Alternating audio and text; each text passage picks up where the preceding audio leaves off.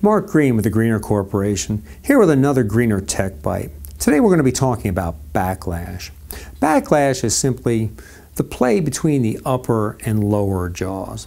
What we have here today is a cutting head assembly with a gear drive mechanism. Some machines use chain drives.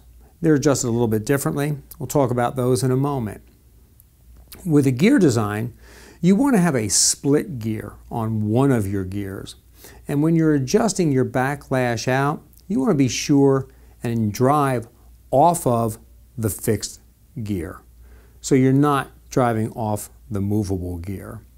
Otherwise, that backlash can creep in. Often backlash is not diagnosed because it's allowed to creep in over a long period of time and it doesn't show up until the problems become difficult enough that they start to show up in your packaging equipment. We can eliminate uh, this backlash from creeping in by adding it to your checklist when you're setting up your jaws and when you're troubleshooting. When you're setting up your jaws, you want to be sure and adjust your backlash only after you've adjusted your clearance. Because when you're adjusting your clearance, you're physically changing the dimension between the gears. When you're adjusting backlash on a chain-driven machine, you do that through the use of a chain tensioner and by periodically changing your drivetrain as they stretch over time, and that's when that backlash starts to creep in.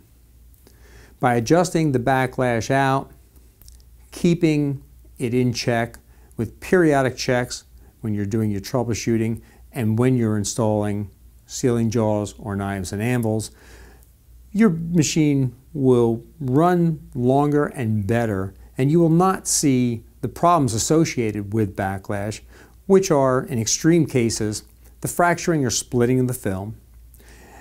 But what we don't see is not picked up is the undue wear to the knife and anvil caused by the backlash. So keep it in check, monitor it, and make sure that you adjust it out.